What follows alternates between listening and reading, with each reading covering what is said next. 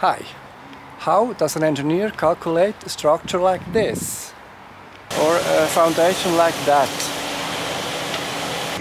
How does he know what reinforcement to take? How do they know what dimensions to take and what materials to choose? And how much safety is there in the construction? I will show you how I make structural design piece by piece on this channel.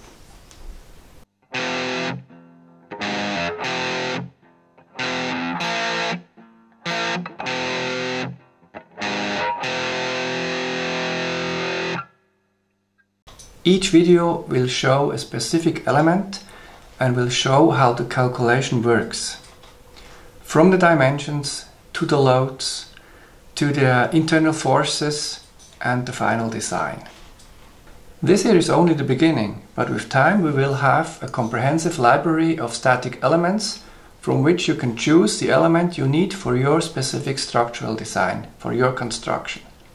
And with your support, the library will grow fast and consistently. I got a seven year education in construction and I've got a graduate civil engineering degree.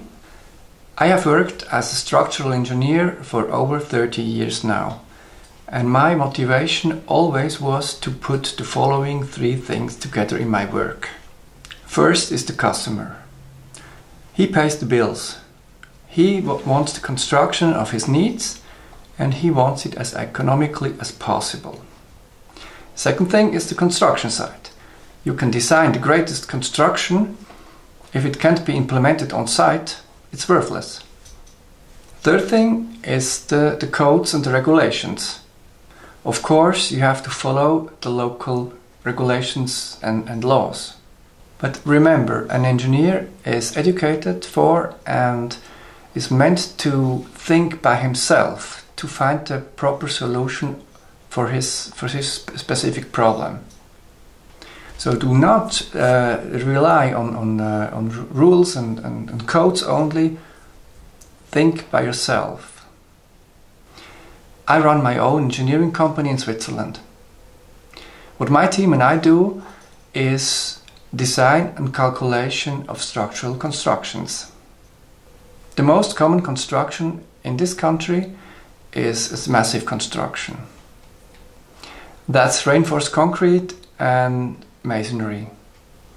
We use it for residential buildings and commercial buildings.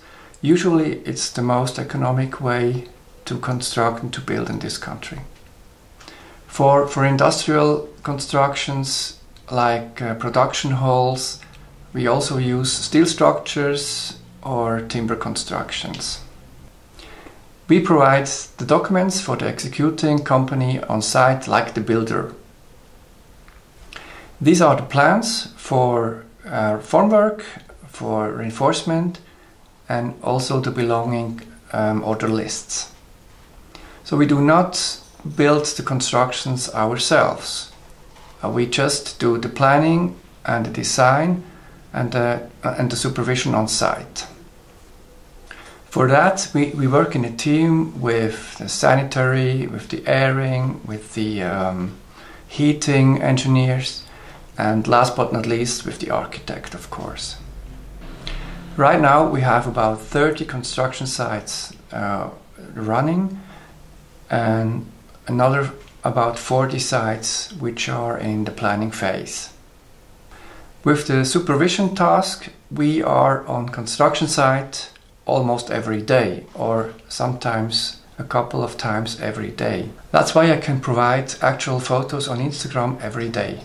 Of course, when it comes to complex uh, statical systems or when you have uh, difficult circumstances, we will always need um, an educated structural engineer to do the design.